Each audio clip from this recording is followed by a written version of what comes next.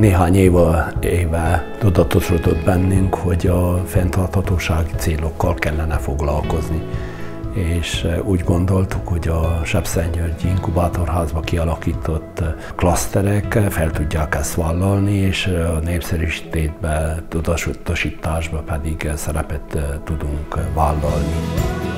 Több klaszterünk van a faipar, erdőgazdálkodás területén, a zöld energia területén, az agrofood, tehát mezőgazdaság és élelmiszeripar területén, valamint a textiliparban. Keressük azokat a cégeket, akik tudatában vannak annak, hogy milyen fontos ez a terület.